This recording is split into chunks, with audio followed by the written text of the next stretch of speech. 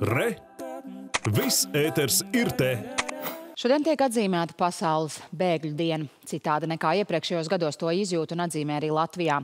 Pirmo reizi kopš neatkarības atgūšanas Latvijas skārs tik plašs bēgļu pieplūdums kā pašlaik. Biedrība Tavi draugi kopš Krievijas sāktā kara sākuma palīdzējuši ne mazāk kā 8000 Ukrainas iedzīvotāju. Un šodien pasaules bēgļu dienā par viņiem gan runā konferencē, gan rīko izstādi un koncertu. Par to plašāk Zanda Ozola balode. Par biedrības tavi draugi noliktavu Rīgā Ventspils ielā pašlaik zina gandrīz katrs bēglis, kas nonācis Latvijā. Taču pirms Krievijas sāktā kara biedrība nodarbojās ar labdarību trūcīgajiem un tai nesot bijis ne mazāko priekšzināšanu darbam ar bēgļiem. Sestdienas rītā bija paredzēts uz divām dienām, ka mēs divas dienas palīdzēsim organizēt šo paciņu nodošanu. Pēkšņi mēs nonācām šajā angārā.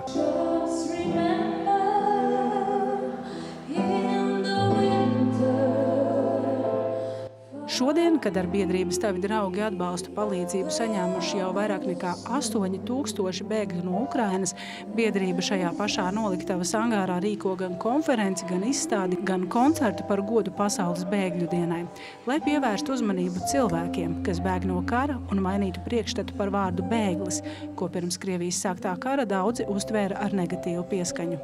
Bēglis tā nav statistika. Tas ir dzīves cilvēks ar likteni, ar iespējams nākotni, kas tiešām ir nozagta. Un par to ir jārunā. Izstādē apskatām fotogrāfa Uldas Krodera Ukrainas sieviešu portreti. Attēlos redzamās sievietes Latvijā ieradušās bēgot no kara. Viņas paralēli pamatdarbam brīvajos brīžos nāk uz noliktavu palīdzēt biedrībai un saviem tautiešiem. Fotogrāfs norāda, ka viņa modelēm kopīgas vairākas emocijas un tikai viena no tām ir šausmas bēgot no kara.